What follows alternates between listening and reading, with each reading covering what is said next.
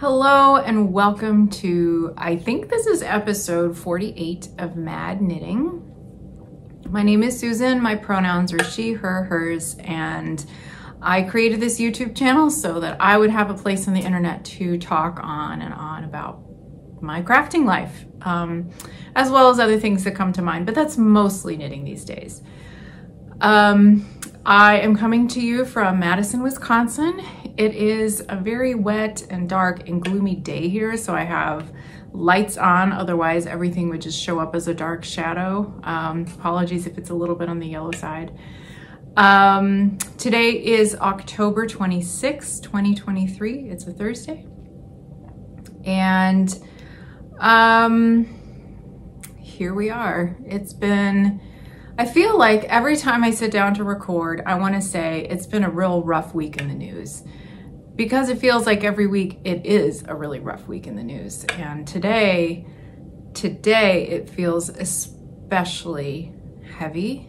Um, global news, national news, uh, fiber news, what happened with Wool and Folk last weekend.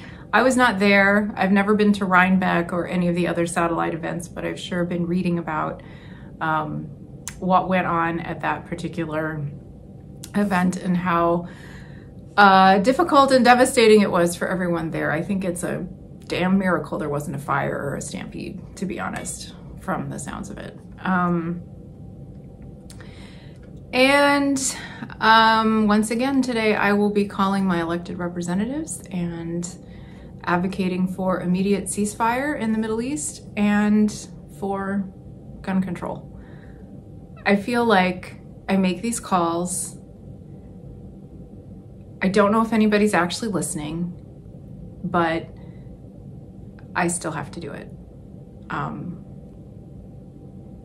it's hard to see all these horrible things happening, to know that my tax dollars are going to support things that contribute to humanitarian crises and to violence um, and to and that my tax dollars are not going to support things that actually improve health and safety of American people and of people abroad.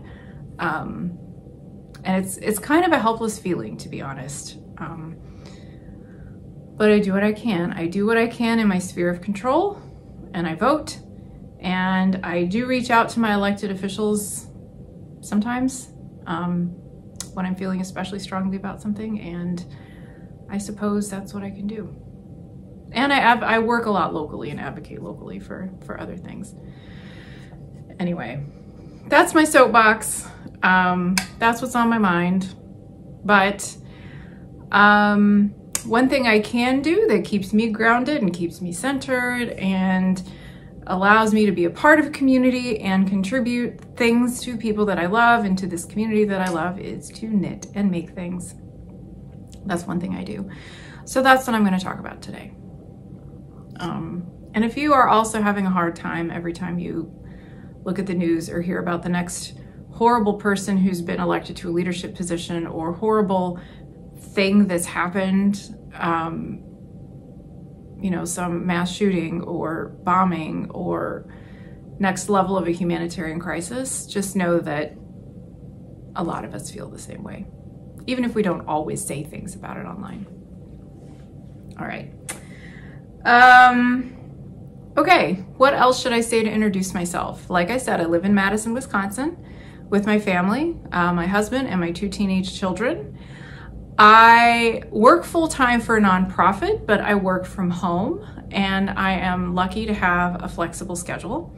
So, as long as I'm getting my work done and I get to all of my meetings, I can carve out pieces of time in the middle of the day sometimes to record these videos. Um, work has been a little bit busier lately, so it's been a little harder for me to find time to do this. Um, but I'm still, I still try. I still do it because this is how I stay connected. Um, I have three hours straight of Zoom meetings this afternoon.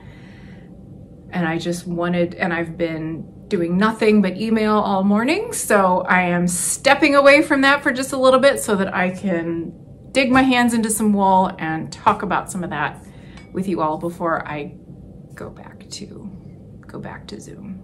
My life is on Zoom, I swear.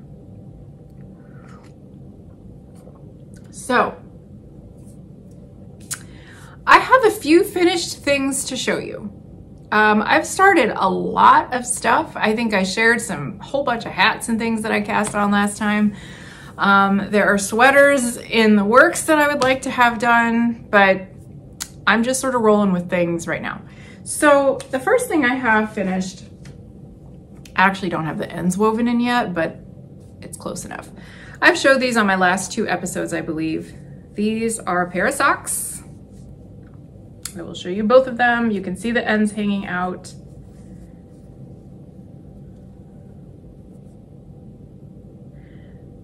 And they really are, you know, as bright and um, garishly Christmassy and variegated as you see. And normally that's not my thing, but for socks, I love it. The yarn is from Knitcircus, which is uh, based in Madison, so local to me. Uh, the colorway is called Naughty or Nice Speckle. And you can see it's a bunch of shades of red and green on, a, on an undyed base. Um, the yarn base is called Greatest of Ease and it's a merino nylon blend, pretty typical sock blend. So I used my normal sock recipe, I guess is what you'd call it. Size one needles, cast on 64 stitches. You can see I, I always start at the cuff and work from the cuff to the toe. So I have two by two rib, stockinette for everything else, except the heel is Eye of Partridge heel. So you're alternating slip stitches.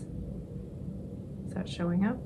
Kind of. Yeah, there we go with a little bit of a garter edge here.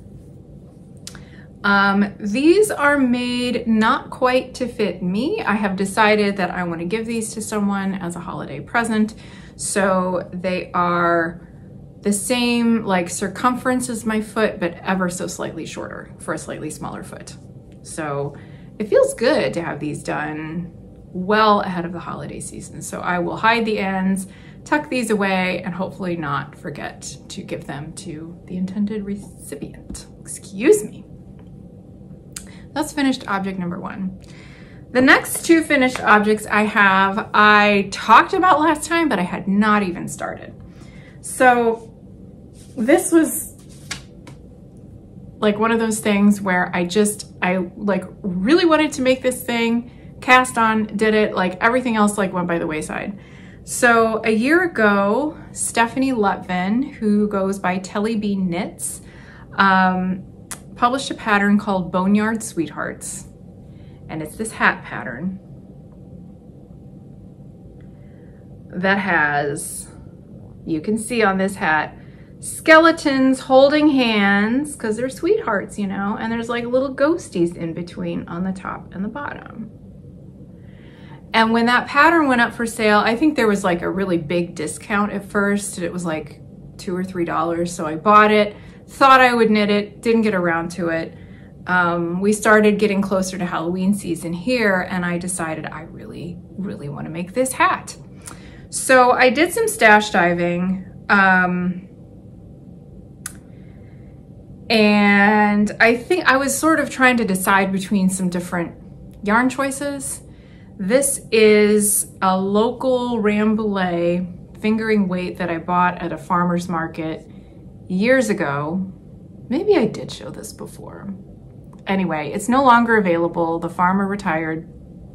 Um, her website doesn't even have, doesn't exist anymore. When I looked it up, it had a broken link. Um, so she raises these sheep, she hand dyes the yarn, um, and it's just delightful. So this first hat I made for my daughter, who is 15, because um, she really liked it. And, you know, if she likes something I'm gonna knit and will wear it, then I will make it for her. So I made this hat and I used, um, I asked her if she wanted ghosts or hearts because there was an option to do hearts in the pattern. And she wanted the ghosts because the hearts were just maybe a little too, a little too cutesy for her, I think. And um, I used size three needles, I think, for the ribbing, and I know I used size four for the color work.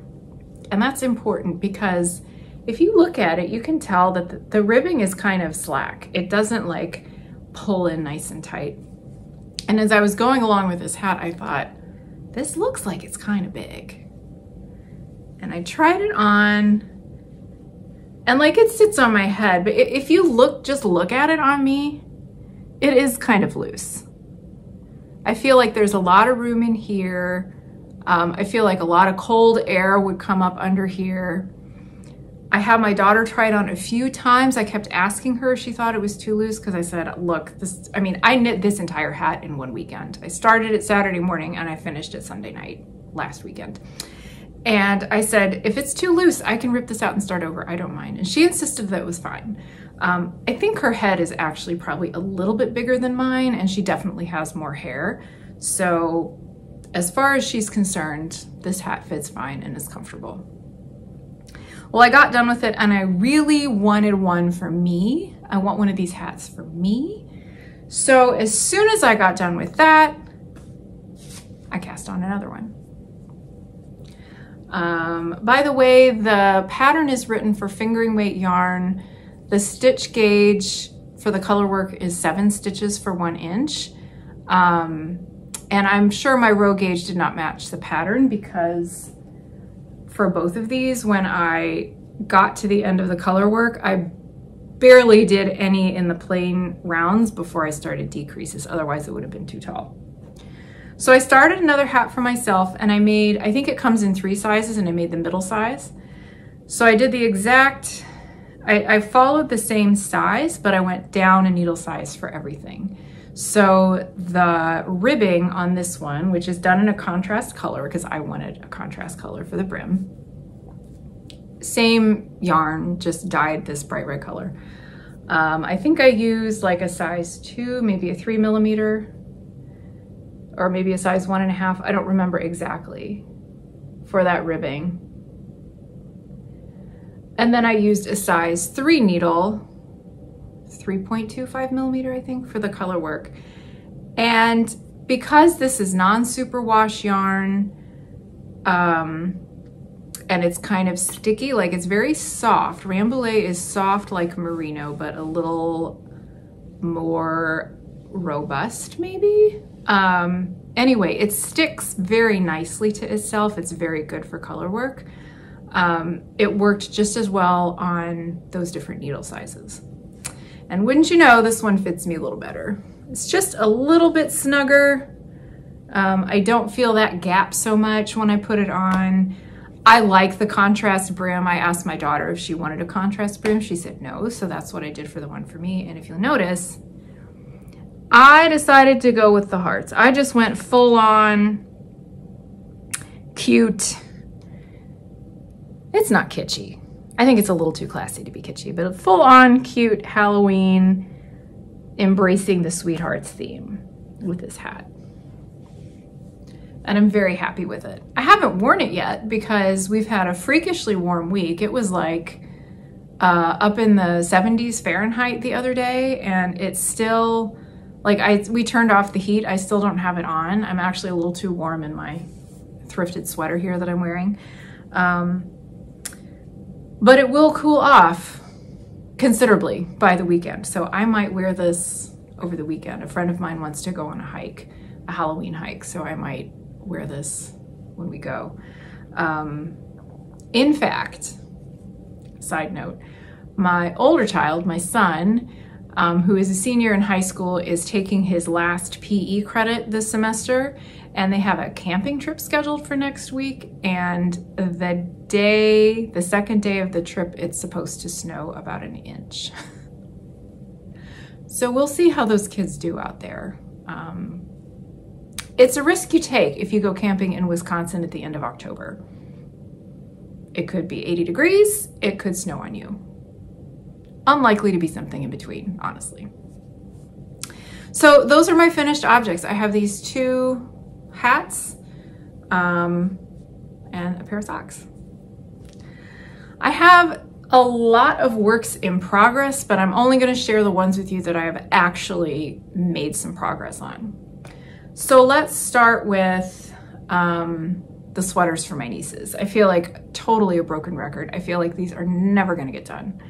I think last time, and I haven't made a ton, ton of progress, but just to remind you, I am making the toque sweater, or tuck, it's probably toque, by the designer Gabrielle Dansknit for both my nieces. Um, they live out of state. The younger one is five, the older one is seven.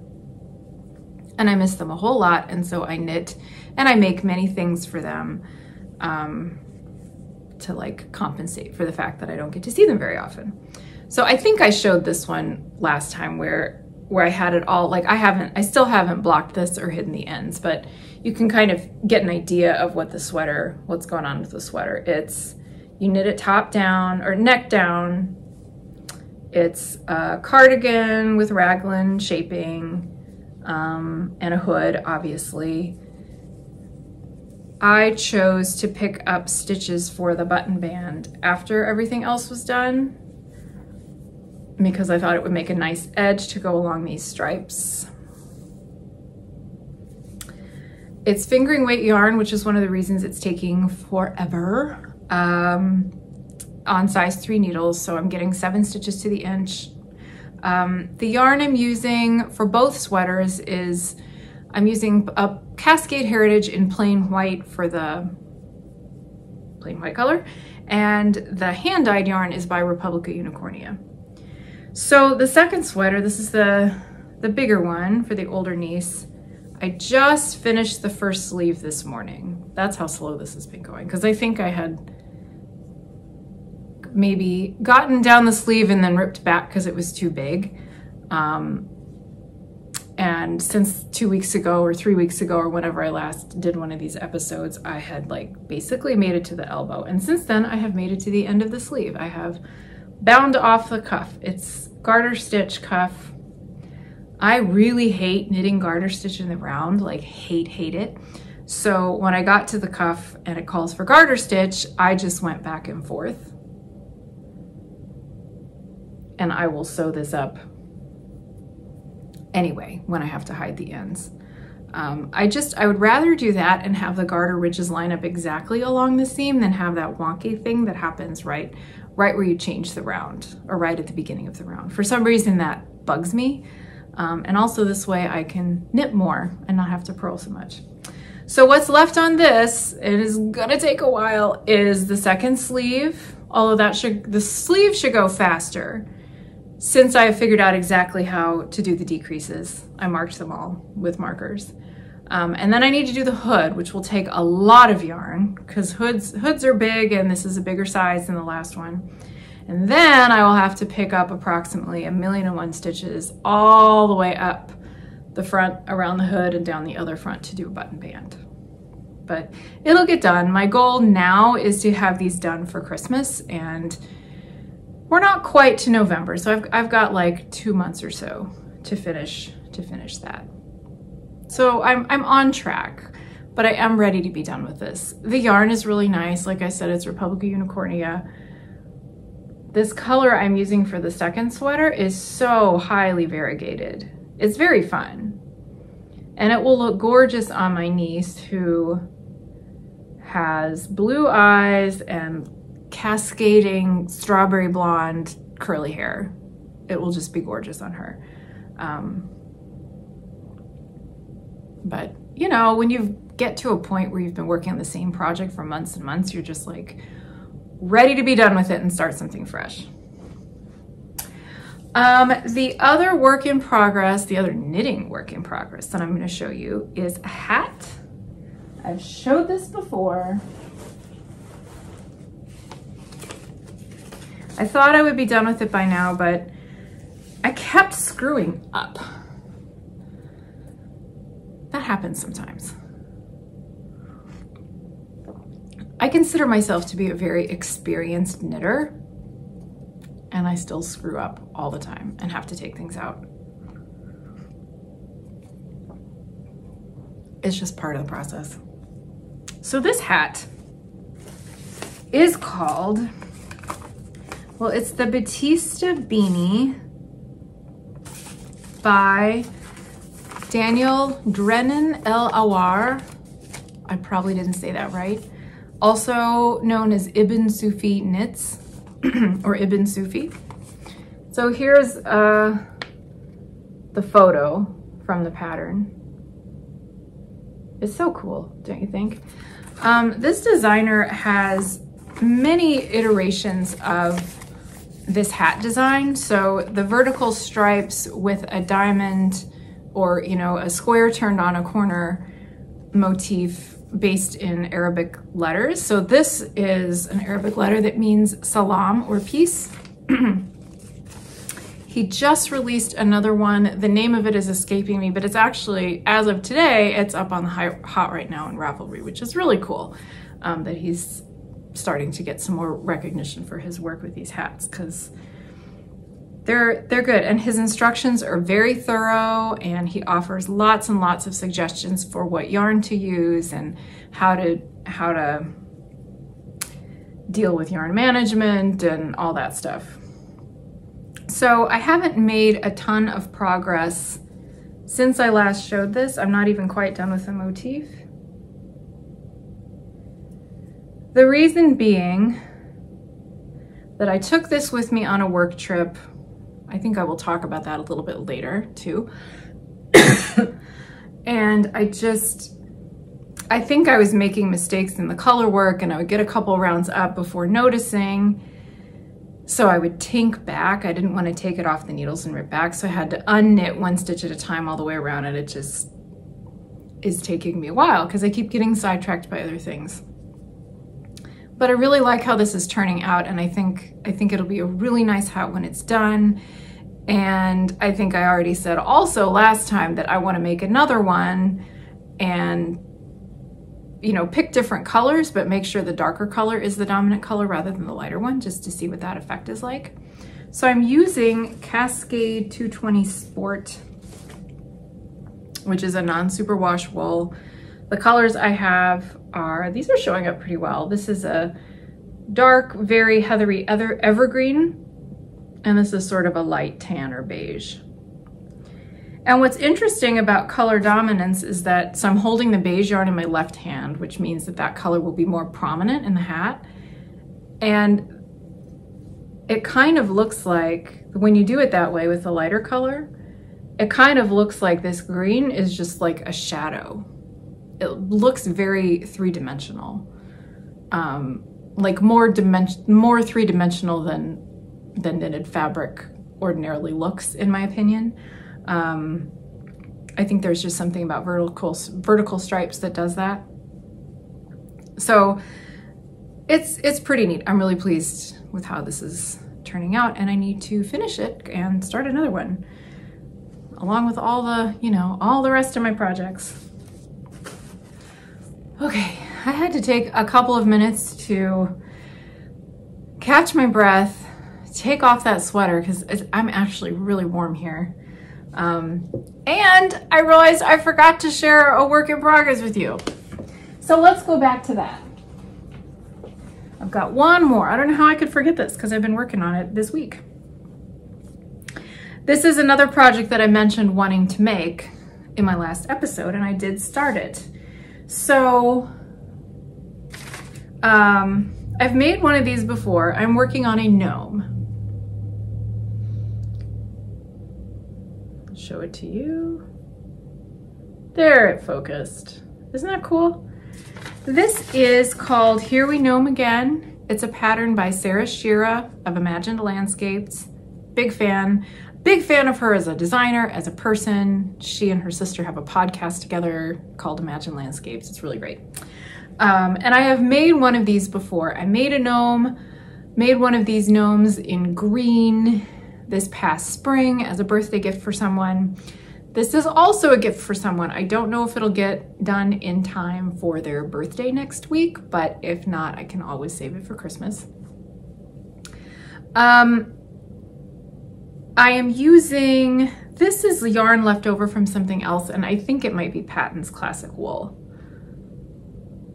I did not save the label, but it's really hard to describe this color. It's sort of a rusty red, heathery color, but you know, if you looked at it real close, I think you'd see a lot of colors kind of spun into it, creating that heathered look.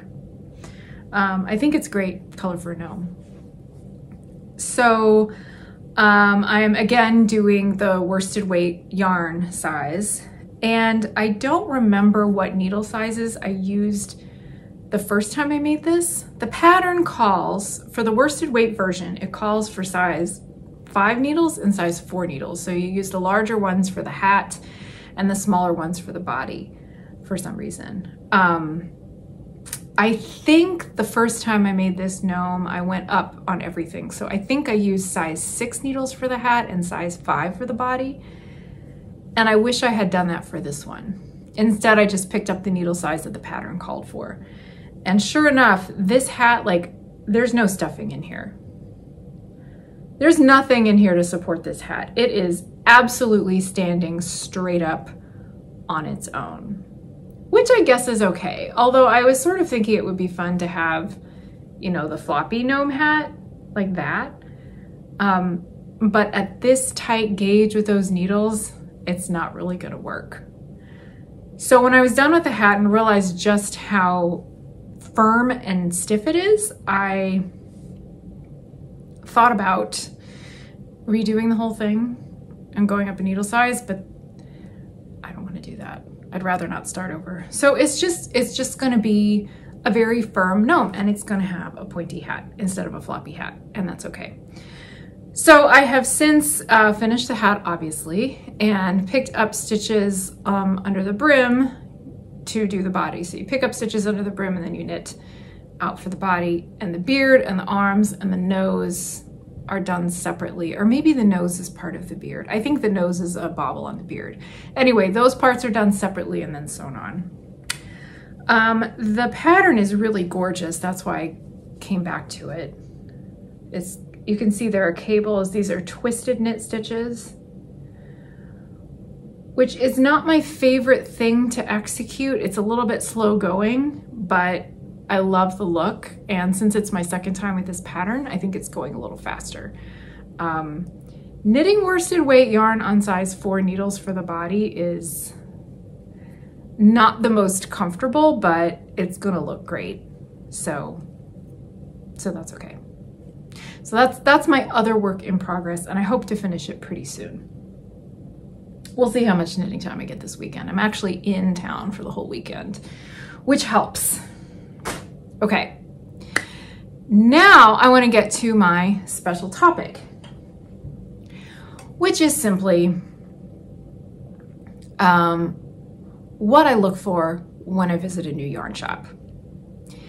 So I feel like this is especially relevant now that we're in fall fiber festival season and the wildly popular Sheep and Wool Festival at Rhinebeck has come and gone very recently. There were satellite events around that. Um, as I said before, Wool and Folk was an absolute disaster and was like literally traumatizing for people. Um, and there were other events that I assume went off a little more smoothly.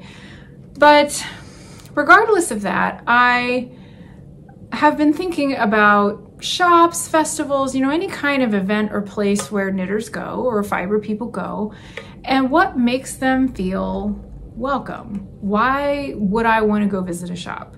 So part of this is because I'm at a point in my life and my crafting life where I have more than enough supplies. I have a very large stash that I don't really need anything. If I go to visit a shop, um, it's not because I need something from there, you know, unless I need stitch markers or something like that. But like, I don't need yarn.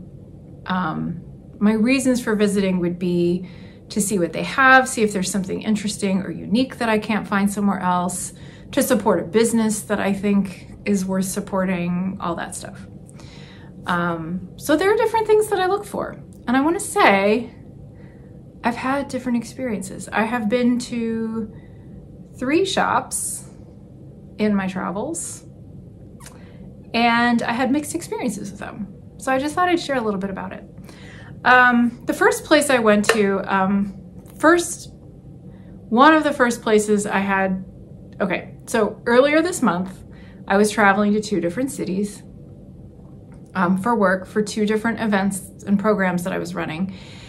And for the second event that I was running, I was in Appleton, Wisconsin. So Appleton is um, like, here's Wisconsin and my thumb is the Door County Peninsula.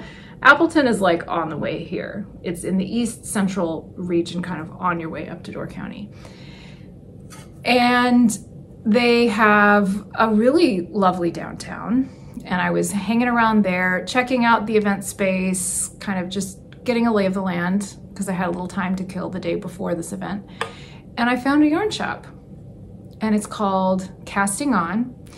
And I decided it would be worth visiting there. Now, um, I feel like a lot of times when you walk into a shop, you kind of get a vibe. like, I know that sounds really woo, but sometimes you can just tell if a place has the right kind of energy. Um, before I even walked into this place, I could see that they had a really big inclusive pride flag hanging in the window. I can't remember if it was a big sticker or if it was like a fabric flag, but anyway, it was there in the front window. It was very prominent. And what you need to understand about Appleton, Wisconsin, or Wisconsin in general, is that outside of a couple of cities, including my home city of Madison, most other places, it's not a given that people are necessarily welcome and accepting of um, of LGBTQ identities. So the fact that this place was very prominently expressing that, I took as a good sign. And sure enough, when I walked in, I think it was the owner who was greeting me, um, who was there working, greeted me. She was extremely friendly. She told me, you know, let her know if I had any questions, all that stuff. And um, I ended up, you know, spending a fair amount of time there and looking at a lot of things. And we had a really lovely conversation. And it just, it felt like a good place. Um, the lighting was good, you know, just in the physical space, there were a couple of different places where people could sit if they wanted. Now, this was the middle of the afternoon on a weekday, so I was the only person there, the only customer there. Um, but I thought it was nice that she had a couple of different seating areas. I believe there was a table with chairs kind of on one side of the shop, and then there was another area with a couch and a another stuffed chair, like and a carpet. So it was just cozy and welcoming and didn't feel imposing. And I did buy some yarn there, so I might as well share what I got. The first thing I got was two skeins of this yarn from Wooldreamers. I love this red color. Um, when I was at the Wisconsin Sheep and Wool Festival in September, I actually saw a vendor that had a lot of Wooldreamers yarn. And I was debating about getting some, but at the time I was tired I really didn't know how to choose what I wanted. So I, you know, went on my way and I just didn't make it back there. But this time, now that I saw it, I was a little more prepared. Um, this is fingering weight, although she said it would easily block out to more of a sport weight because this is non-superwash. It is, everything here is in Spanish and I don't speak Spanish, unfortunately. But I think it's merino, it's minimally processed. It is from Spain. And this is my favorite color in the world, is this red. This deep kind of rich red color. So my plan is to make a vest. I wanna make, I want a vest in my life and some more lightweight sweaters because everything I have is like very like warm and cozy and I need I need more stuff for transitional seasons like this one. So that's my plan. I am trying to remember what the name. There's a vest pattern by Wool and Pine. And it's it came out not too long ago. It's V-neck. It has a cabled pattern. And I'm totally blanking on what it's called, but that's what I want to make with these.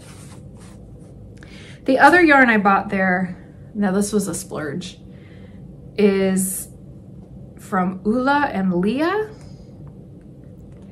It's cashmere from Free Range Goats. So you can imagine why I only bought one skein. Um, there's a lot of information here on the label about its origins. It's sourced through the Sustainable Cashmere Union. Um,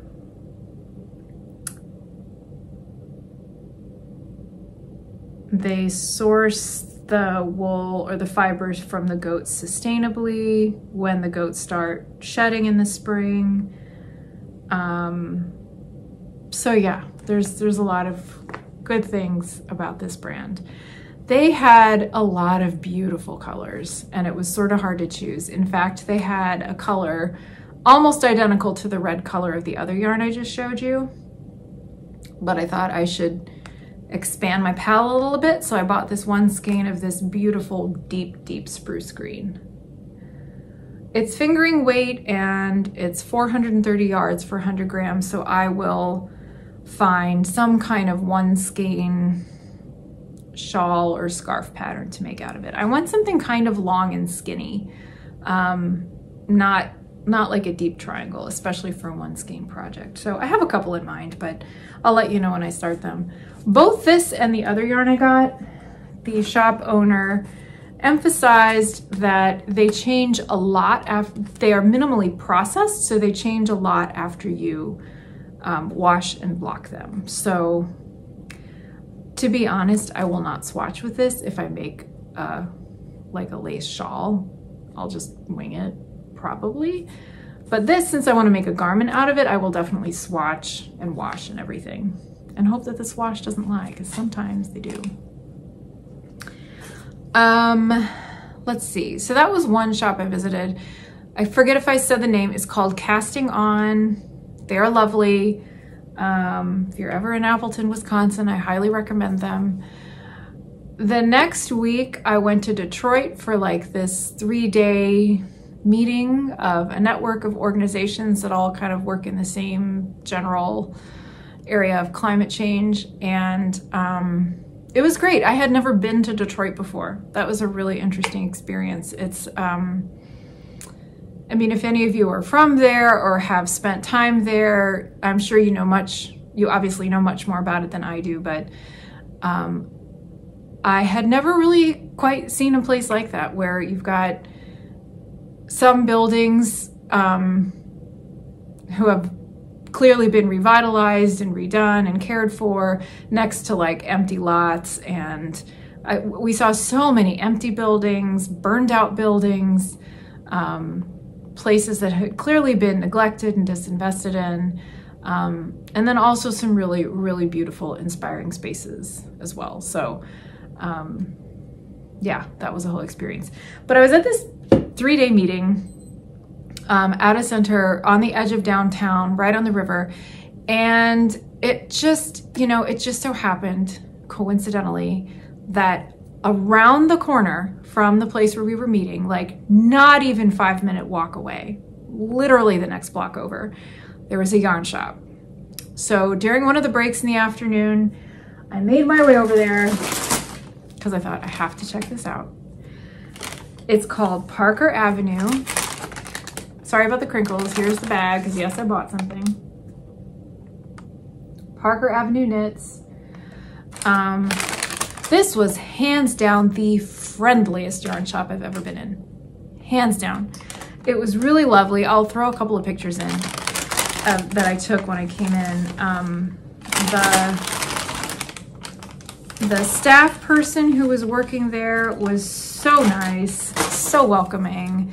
There were some people there knitting. Again, they had, it wasn't a very large shop. It's, it is not a very large shop, but they have seating in a couple of different places.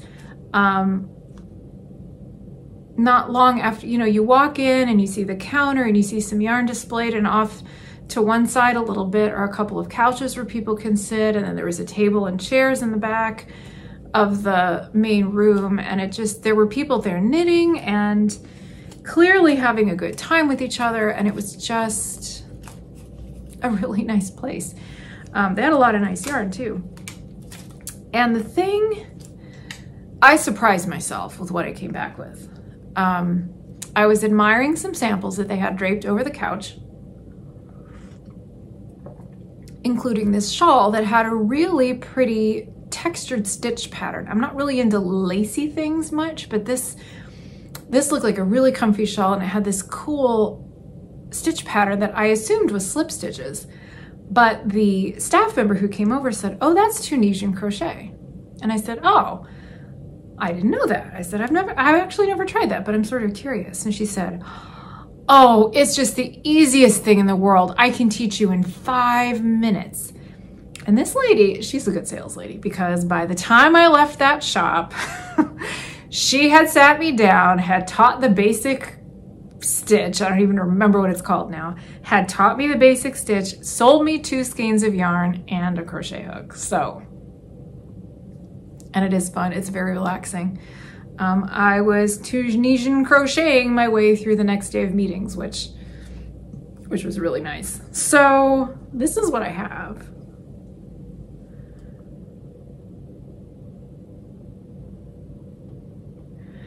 Now I do know how to execute a regular crochet stitch. I can do a single and double crochet, like the American single and double crochet.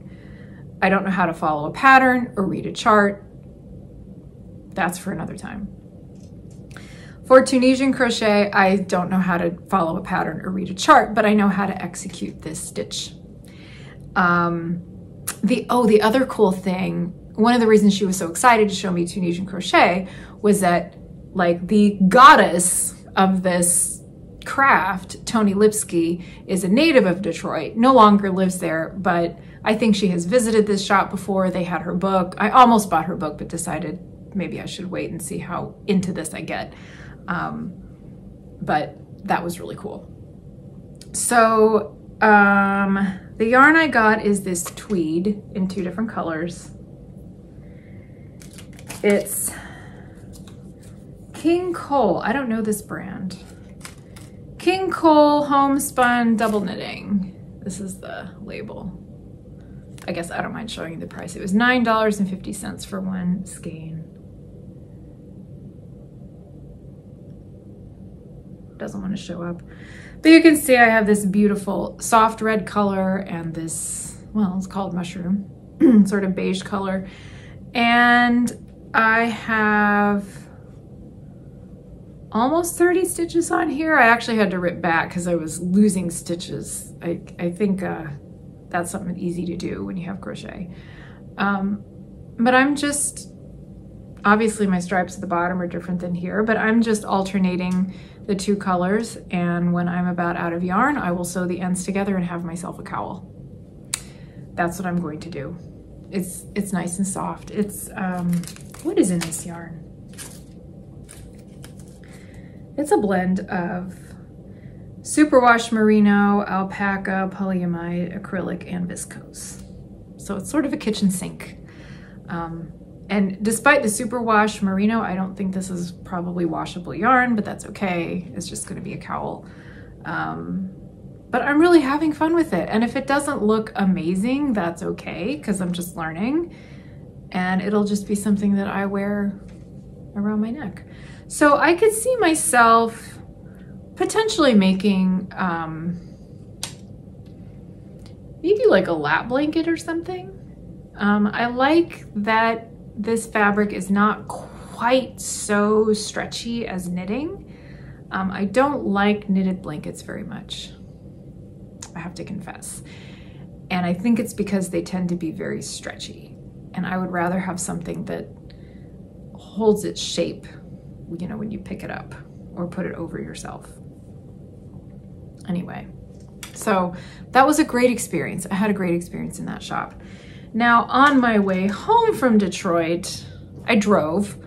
Um, I drove by myself on the way back and partway through I decided I needed a break from driving. I needed to, desperately needed some coffee and I found this shop not too far off the interstate in, um, maybe I won't name it because it was it was not the same atmosphere at all. You know how I was saying like you just get this vibe.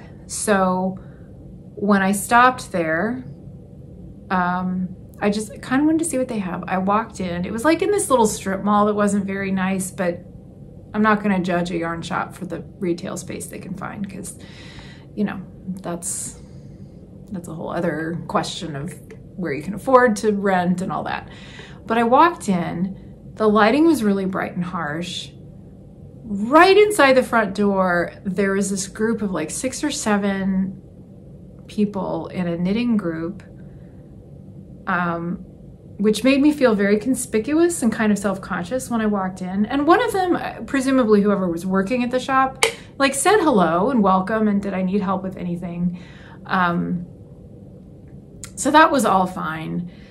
But, uh, you know, I said, no thanks. I'm just passing through. I'm going to look around. And so I'm looking at their yarn selection, which was fine, not fantastic, but not anything to write home about.